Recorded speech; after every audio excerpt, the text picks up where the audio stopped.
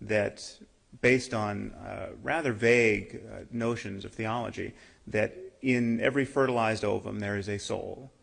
And you can't privilege the, the interests of one soul over another, even if one is in a petri dish and the other is in a, a man with Parkinson's disease. Um, and uh, a lot has been said in this conference about science not being able to answer questions of morality. Well, I think this is a question of morality that science has answered. Uh, if you look at the details, if you look at the, human embryos that are destroyed in stem cell research, uh, what is a three-day-old human embryo? It is a collection of 150 cells.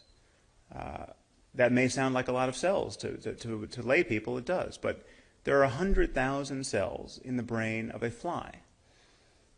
Uh, now, we, it seems to me if, if our concern is about suffering in this universe, uh, it is rather obvious that we should be more concerned about killing flies than about killing three-day-old human embryos. Now, this, this may sound like a very provocative claim. I would argue that it shouldn't if you look at the details. Now, many people, of course, will argue, well, the difference between a fly and a three-day-old human embryo is that a, a, a three-day-old human embryo is a potential human being. Uh, this runs into problems. Every cell in your body, given the right manipulations, every cell with a nucleus, is now a potential human being. I mean, literally, every time you scratch your nose, you have committed a holocaust of potential human beings. Uh, so the, the argument for, for a cell's potential doesn't get you anywhere. Uh, but let's, let's take this a little bit further. Let's say we granted that every three-day-old human embryo has a soul worthy of our moral concern. Uh, there are other problems that await this, uh, this uh, description. First of all, embryos at this stage can split into what we call identical twins. Uh, now, is this a case of, of one soul splitting into two souls? Embryos at this stage can fuse into what we call a chimera. Many people in this room could have developed in this way. Now, I, I, suspect that there are theologians trying to figure out what has happened to the extra human soul in such a case. Uh, it, it's time we realize that this arithmetic of souls doesn't make any sense. It's intellectually indefensible, but it is morally indefensible given that these notions really are prolonging the scarcely endurable misery of tens of millions of human beings. And because, uh, because of the respect we accord religious faith, not even just people of faith, even advocates of stem cell research uh, accord this the, the faith respect, uh, we can't have this, this dialogue uh, in the way that we should. So I submit to you that if, if you think that the, the, the interests of a blastocyst, a three-day-old human embryo, just may trump the interests of a little girl with spinal cord injury or, or a person with full-body burns, uh, your moral intuitions have been obscured by religious metaphysics. Uh, and this is a kind of blindness that is very well subscribed in our society. And it's a blindness that goes by another name. It goes by the name of religious faith and we have been cowed into respecting it. I'm curious, how many of you consider yourselves to be devout Muslims? See a show of hands? Don't mean to single anyone out, but not many. Now, you're all aware, of course, that the Quran exists and claims to be the perfect word of the creator of the universe. You're aware that once having heard of this possibility and rejecting it, you're all going to hell for eternity. I mean, needless to say, Dr. Craig and I are both going to hell if this vision of life is true. The problem is that everything Dr. Craig has said tonight, with a few modifications, could be said in defense of Islam. In fact, has been said in defense of Islam. Okay, the logic is exactly the same. We have a book that claims to be the word of the creator of the universe. It tells us about the nature of moral reality and how to live within it. But what if, what if Muslims are right? And what if Islam is true? Okay, how should we view God in moral terms? How would we view God in moral terms? Or I should say, Allah.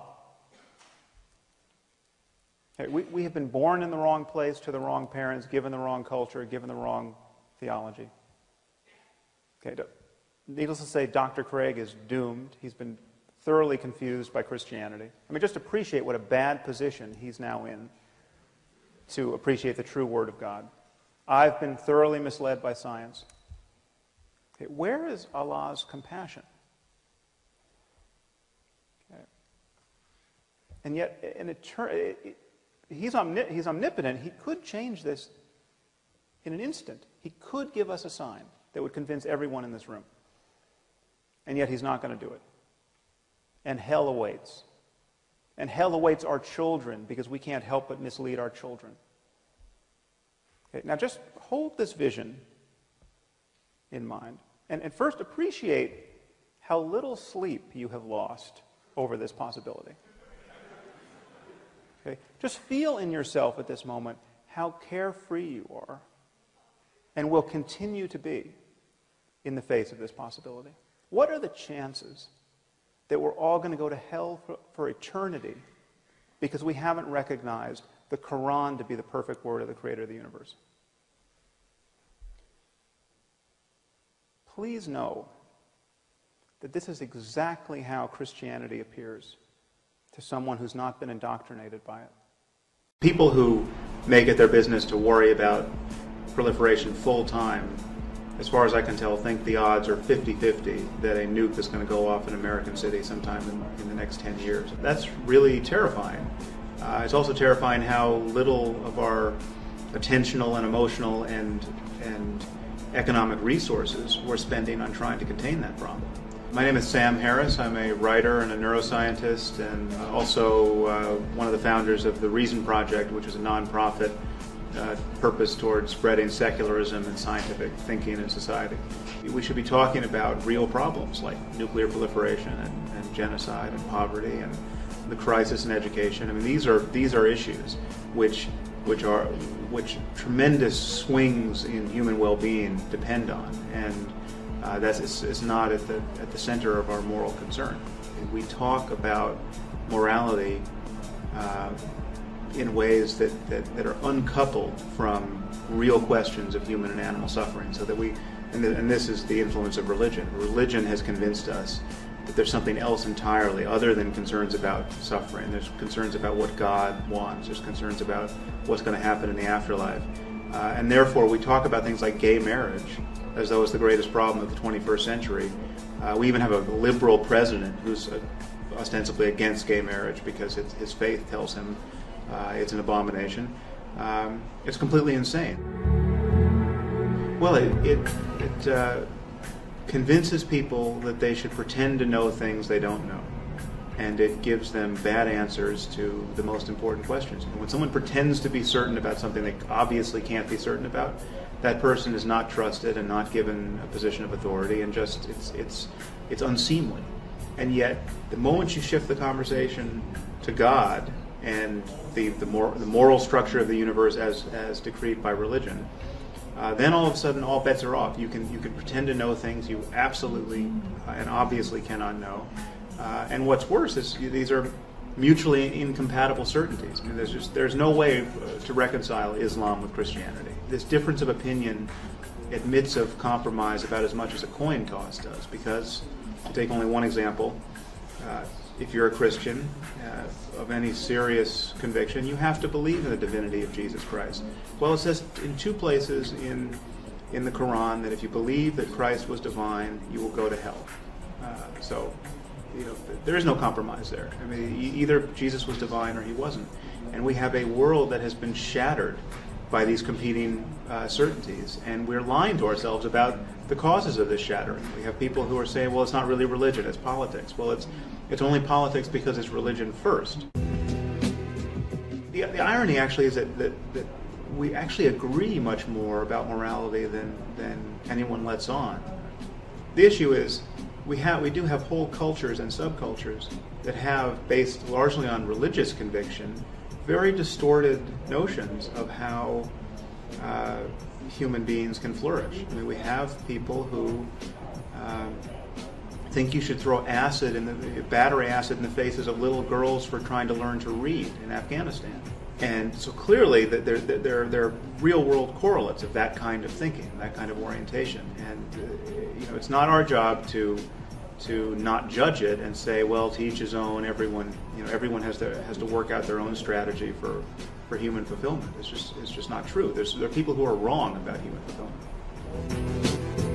fascists. I, I, said, you know, the only people making sense on this subject at the moment happen to be fascists. And I went on to say that this is a terrifying circumstance that we have, we have, um, you know, if, if, if someone burns a Quran tomorrow and riots erupt in in a hundred countries, uh, as they as they likely would, the only per, the only people who are going to immediately come forward and, and, and, talk about the, the clear link between what Muslims believe and this despicable behavior are the crackpot pastors and the, the right wing demagogues. You know, Sarah Palin and and you know some some uh, uh, you know homophobic pastor in Florida.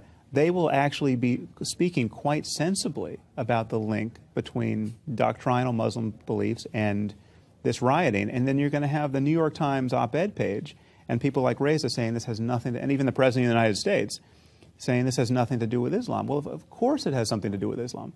Everything we see, everything we see about, about the character of Muslim violence, the fact that people are being decapitated as opposed to some other method of dispatching them, there's a direct link between that and Muslim doctrine. And we have to speak honestly about that.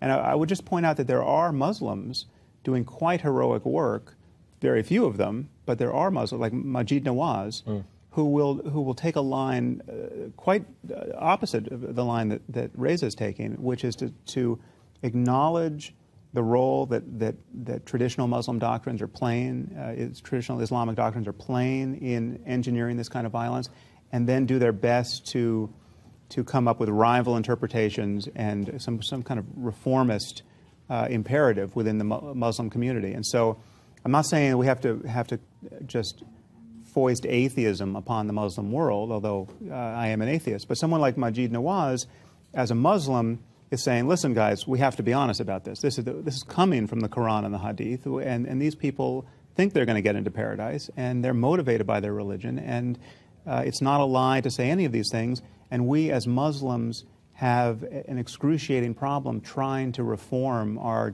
our discussion about faith so as to make apostasy a non-punishable offense and blasphemy a non-punishable offense. And that's a huge challenge.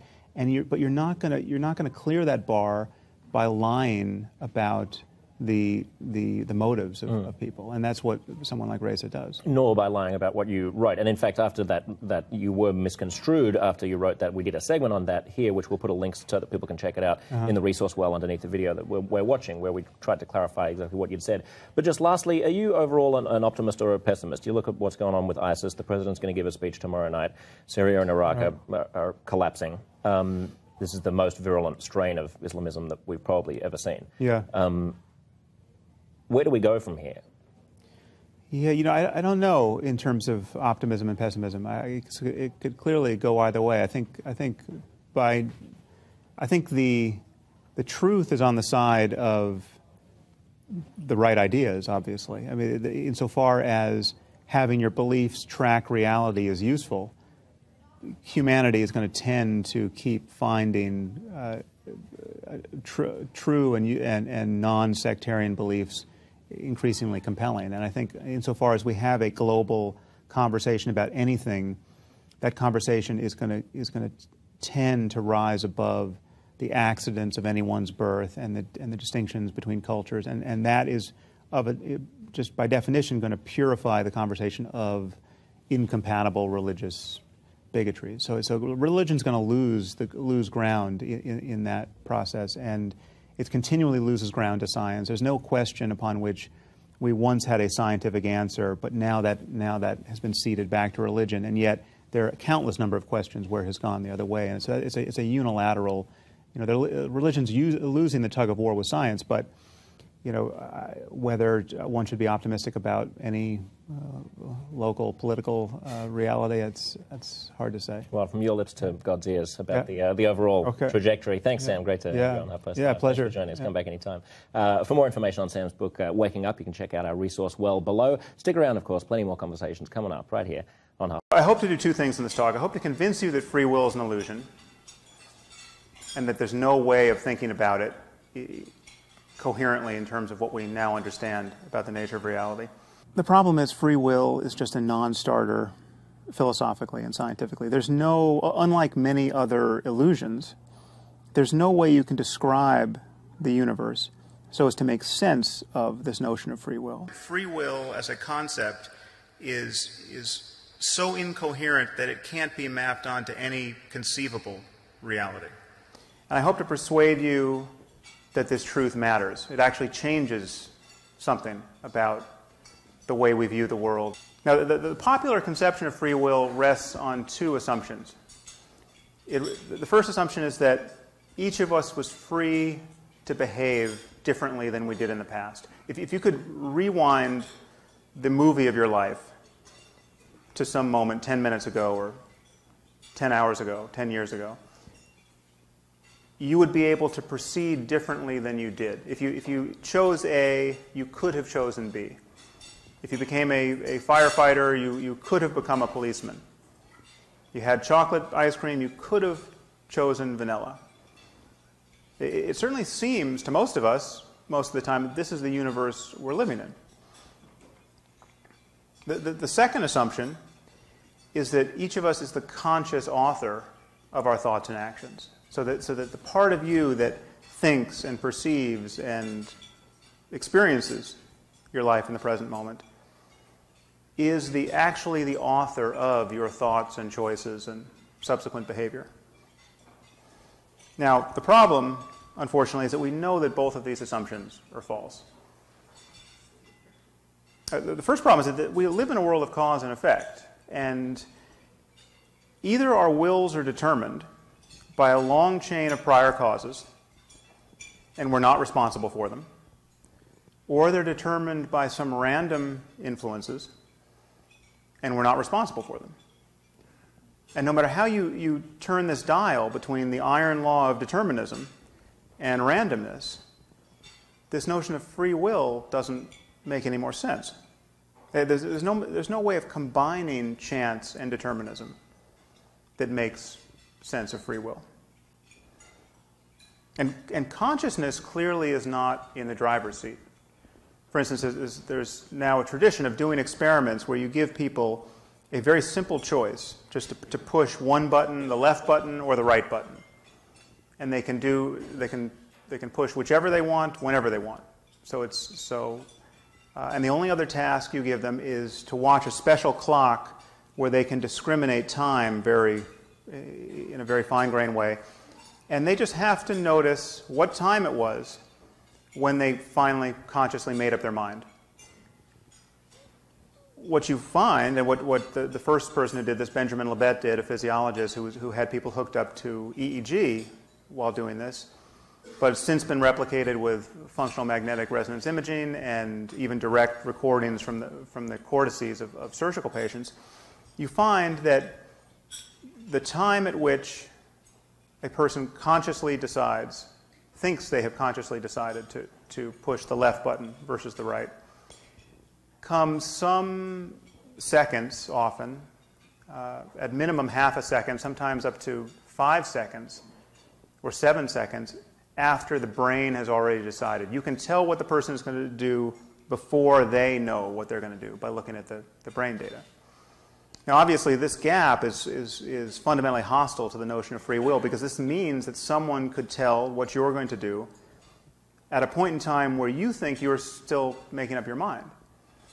But, and people have been wrestling with these data for years, trying to collapse this interval, and some uh, imagine that they have. I'm not persuaded by any of those results, but the truth is, even if you collapsed it totally and the moment your brain decides was in fact the moment that you were consciously aware of deciding, there still wouldn't be room for free will. You still wouldn't know why it is you picked left over right, and you, and you wouldn't have created the conditions of your picking. You wouldn't have tuned your brain to that precise state that, that led to that behavior.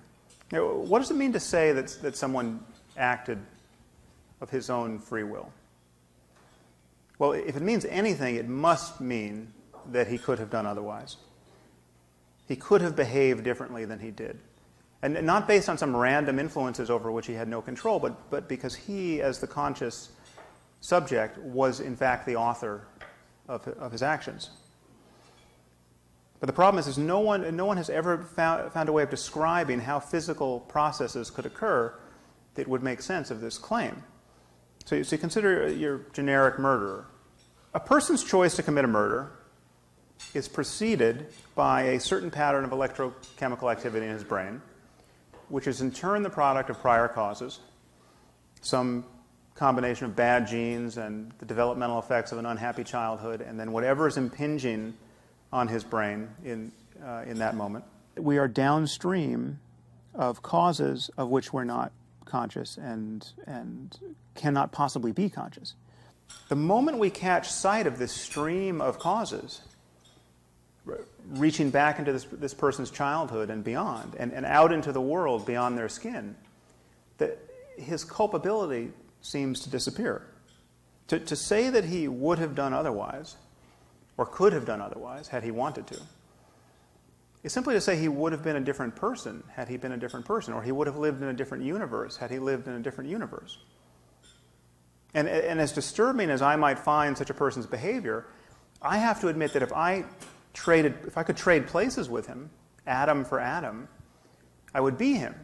I mean, there's no extra part of me that could decide to see the world differently or, or, or could decide to resist the impulse to victimize other people. And even if you believe that each of us harbors an immortal soul, this, this problem of responsibility remains. I cannot take credit for the fact that I don't have the soul of a psychopath. I didn't make my soul. If I had truly been in this person's posi- position, if I had the same genes and the same brain, the same life experience, or the same soul, I would have done exactly as he did and for the same reasons. So, so the role of luck in our lives appears decisive. The problem of free will is actually deeper than the problem of cause and effect. Free will doesn't even correspond to a subjective fact about ourselves. Now, now most people think we have a, a subjective, a, st- a strong subjective experience of free will. And the problem is just that we can't map it on to physical reality. This, I think, is an illusion. I think, I, I, think we actually do not feel as free as we think we do. This, this relies on us not paying very close attention to what it's like to be us. The, the truth is, we feel or presume an authorship over our actions, over certain and thoughts, over a certain channel of information in our conscious minds that is illusory. The endurance of free will as a philosophical problem in need of a solution is born of the fact that, that most of us feel that we freely author our thoughts and intentions and actions, therefore.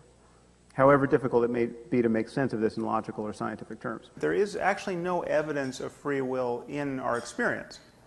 And if you pay close attention to your experience, you can see this. If you pay attention, you can see that you, you no more author the next thing you think than the next thing I say. Thoughts simply appear in consciousness. What, what are you going to think next? What am I going to say next? I could suddenly start talking about why we don't eat owls. Why don't we eat owls? They seem perfectly good.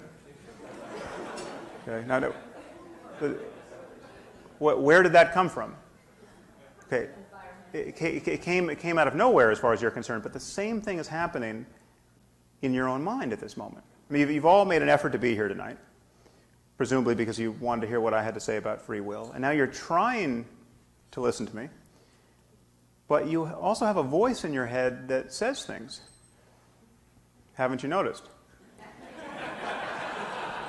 and it, it, it, says things. Uh, it, it says things that are completely unconstrained at times by the thing you're trying to focus on.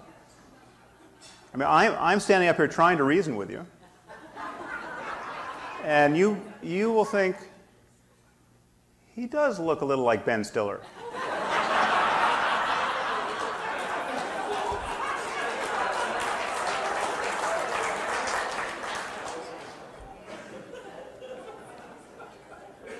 Thoughts just emerge in consciousness. We're, we are not authoring them. We, we can't choose them before we think them. That would require that we think them before we think them. If you, if you can't control your next thought and you don't know what it's going to be until it arises, where's your freedom of will?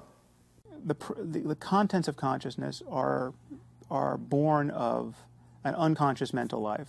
You, you can't honestly take credit for your unconscious mental life. You, you have, you're making millions of decisions right now with organs other than your brain, of which you're not conscious of. But you don't feel responsible for these decisions. I mean, are you making red blood cells at this moment? Your body is, hopefully. But if it were to stop doing this, you would be the victim of that change. You wouldn't be its author. Our experience in life is actually totally compatible with the truth of determinism. We don't have this robust sense of free will the moment we actually pay attention to how thoughts and intentions arise. And again, it's important to notice that this is true whether or not we have immortal souls. Mean, there's no, the case I'm building against free will does not presuppose philosophical materialism. But even if we have souls that are somehow loosely integrated with the brain, the unconscious operation of a soul grants you no more free will than the unconscious neurophysiology of your brain does.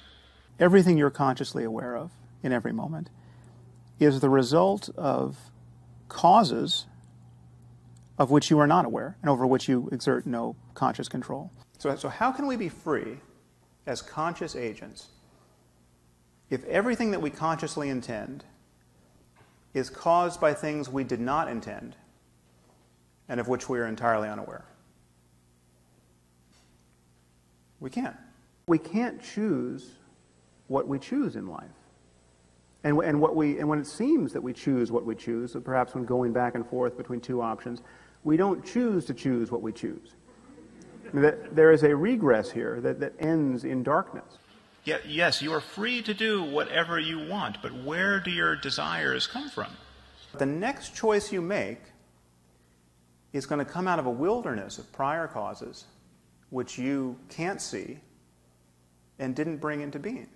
Where is the freedom in doing what one wa- wants when one's wants are the product of prior causes which one cannot inspect and therefore could not choose, and, and one had absolutely no hand in creating? And so, and what I'm going to do next remains a mystery that is fully determined by a prior state of the universe from the perspective of your conscious mind, you are actually no more responsible for your next thought than you are for your, your birth into this world. You have not built your mind. And in moments where you seem to build it, where you finally take the reins of your life and, and, you, and you, you decide to acquire knowledge or, or learn a new skill, the only tools at your disposal are those which you've inherited from moments past. No one picks their parents or the, or the society to which they were born. No one picks the moment in history in which they live. No one picks their genes or their, the environmental influences that determine the structure of their brain. No one determines how their nervous system gets shaped from the moment of conception onward. Your physical development is something you had no hand in. You didn't pick any of the influences that's, that shaped your neurophysiology. You didn't pick your soul if you have one. And yet, th- this totality of influences and states will be the thing that produces your next decision. Just think of the context in which you are going to make your next decision. Your brain is making choices based upon beliefs and intentions and states that have been hammered into it over a lifetime. You, you are no more responsible for the, the exact structure and state of your brain in this moment than you are for your height. What you, what you do based on conscious, predetermined decisions says more about you than anything else. Thoughts simply arise in the mind. But the, the idea that we as conscious beings are deeply responsible for the characters of our minds simply can't be mapped onto reality. And if we want to be guided by reality, rather than by the fantasy lives of our ancestors, I think we have to revise our view. Thank you very much.